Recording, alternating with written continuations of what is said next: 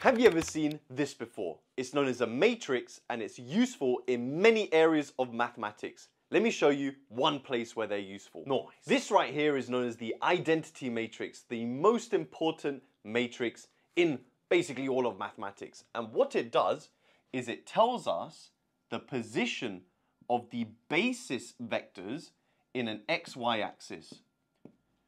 These just represent coordinates. x is 1, y is 0. 1, 0. This is the y-axis. x is 0, y is 1. And with these vectors, you can define the whole coordinate axes. For example, the coordinate 2, 2, you'd be doing two lots of this horizontal vector and two lots of this vertical vector. So this brings us to matrix multiplication. Two lots of this horizontal vector, which remember is 1, 0. And then we would be doing two lots of this vertical vector. Two lots of 0, 1.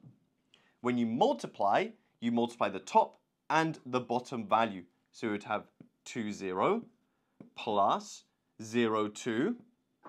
And when we add vectors or matrices, we just add the top and the bottom. 2, 2. So a coordinate is just represented vertically. Nice.